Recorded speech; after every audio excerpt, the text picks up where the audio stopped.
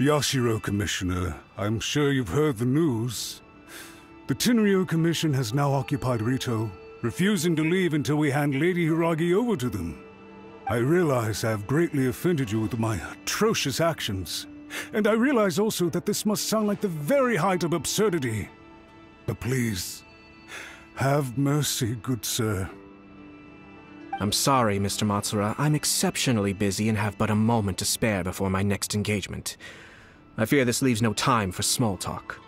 So, please, if you would be so kind, get straight to the point. I know our apology means nothing to you, but we really have nothing else left to offer by this point. I'm terribly sorry.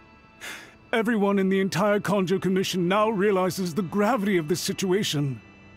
Lady Hiragi is indispensable to us. We promise to always support her. So, would it be at all possible for you to talk to Sir Kujo once more? On our behalf? You make it sound so easy.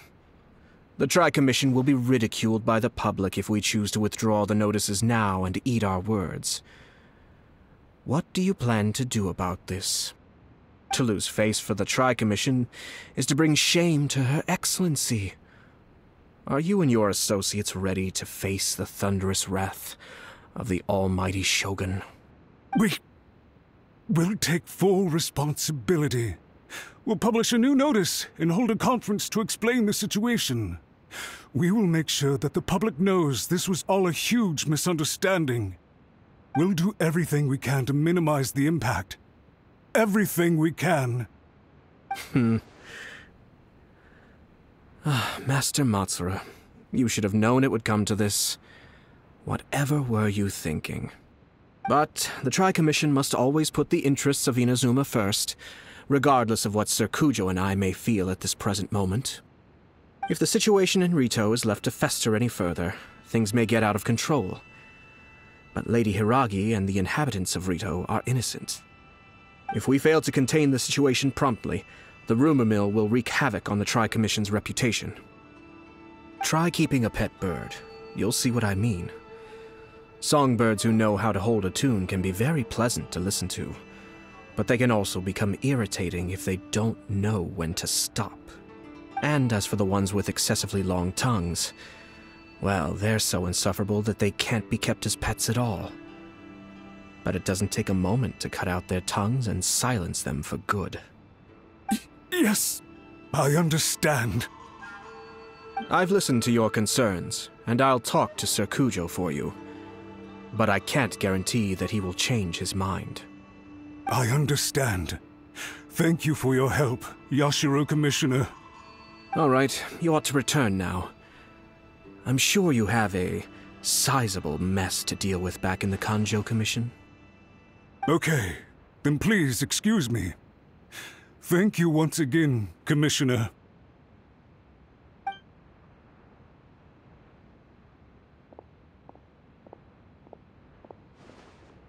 Ah, yes, Lady Hiragi. I have something to tell you. Would you mind? Oh? Why, of course. Sir Kamisato, you became a completely different person just now. It felt so intense. Unruly servants like him need to be severely reprimanded. As a commissioner, the almighty Shogun trusts me to do her will. I did as I should. But now, I'd like to take off my commissioner hat and share a personal story with you. Oh, please. I'd love to hear it. You must have heard that the Kamisato clan once went through an extremely difficult period. My father worked incredibly hard to compensate for the grave errors made by the Kamisato clan long ago and restore our reputation. The work took a toll on his health, and ultimately led to his untimely demise. My mother loved him dearly. She passed soon after. This sudden turn of events dealt a heavy blow to the Yashiro Commission. Behind the scenes, things became very unstable. Everyone thought that the Kamisato clan had lost power. That made my sister and me nothing but burdens hindering the ambitions of others. It may sound preposterous now, but I assure you that is the truth of what the Yashiro Commission has been through. Huh. Pretty similar to how the Kanjo Commission is now. Back then, I had no choice but to accept the position I was in. While I desperately looked around for powerful supporters, I endured smear campaigns and attempts to exploit me. I had no other choice. I had to honor my parents' dying wishes, and I also had a young sister to take care of. I didn't mind what became of me, but my family. No one can ever be allowed to trample over my precious family. Fortunately, I persisted, and the Kamisato clan was able to survive the storm. I think I now know where my sense of loss and confusion was coming from. Shinojo once told me that he saw what was in me in a way that no one else did. That's why he couldn't bear to see me live the rest of my life depending on someone else. I thought the reason I felt unsettled was because of uncertainty over getting married. But the fact is, it's because I felt too young and inexperienced to handle the situation facing me. The reason why Sir Kujo was able to face the prospect of marriage so confidently is because he's prepared for anything. That's it. The situation I'm facing now is the same one he faced back then. When his clan was in crisis, he bravely drew his blade and challenged the almighty Shogun. And now... It is time for me to make a stand and become my own person. Well said. I'm sure once you have grown and gained confidence, your father will be able to let go and allow you to decide how you want to live the rest of your life. It might not sound exciting, but this kind of personal growth is a necessary step in the pursuit of true happiness. And I'm sure I can get there. I will use this as an opportunity to take over the responsibilities of the Hiragi clan. I'll think about marriage again after everything is more settled. This puts less pressure on Kamaji, and means I can support and protect myself without having to worry about becoming a burden or dependent on someone else. My best wishes to both of you were and remain heartfelt. When the time comes for the wedding to go ahead, I will come to congratulate you once more. Thank you, Sir Kamisato. I am grateful for everything you have shared with me. Now, if you'll excuse me, I have a lot to deal with back home. Take care, Lady Hiragi. I'm confident that on your return, you will find your Kanjo Commission associates most receptive to your instruction. Yes, in fact, my recent experience suggests the same. Thank you once again.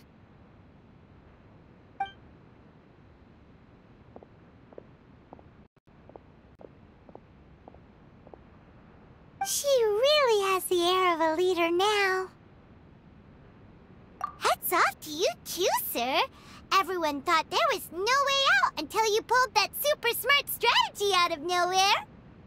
In fact, counter-checking is a perfectly common maneuver in the game of chess. Our rival this time was easy to deal with. He was smart, but short-sighted, and sloppy in his execution. This outcome is entirely within my expectation.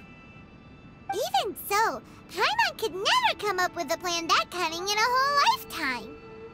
Anyway, it's kind of a relief to see that Chisato has decided to set the Hiragi clan straight. I agree. Stability in Inazuma benefits me as well.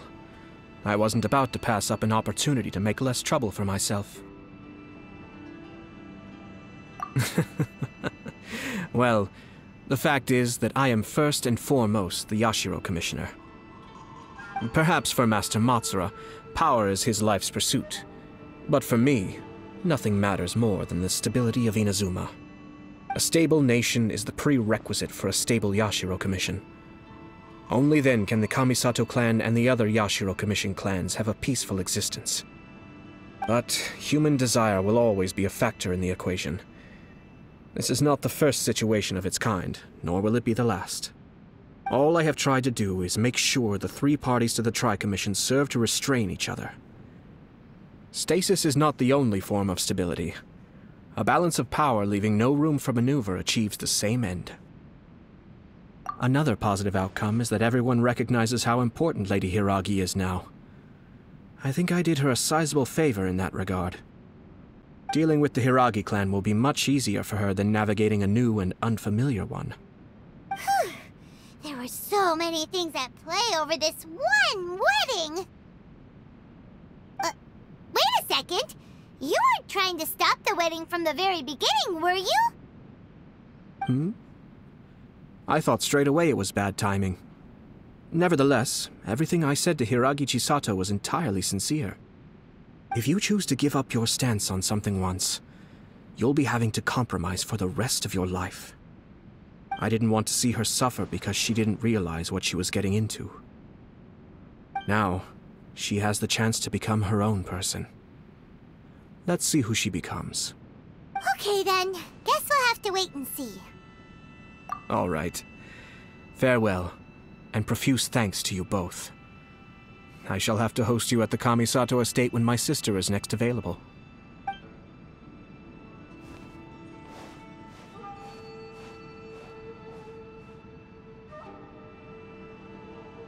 Looks like everything's resolved. Masterfully done. Everything was perfect. Well, except for one minor detail. I somehow ended up with a glass of very peculiar tasting milk. Hmm? Didn't you like it? I distinctly remember you saying you are quite partial to exotic flavors. Oh! uh, my lord? The Traveler had one of those as well. Ah, I'm sure he's made a great impression on you. The Traveler did indeed play a critical role in this case. I'm sure both families would have been more guarded against me had he and his companion not been present. It wouldn't have been so easy to get to the heart of the matter. There you go again, my lord. Placing the focus on other people while discreetly performing your job to perfection. Naturally. Ah, yes. Now that we're both free, let's finish off that game of chess we started a few days ago.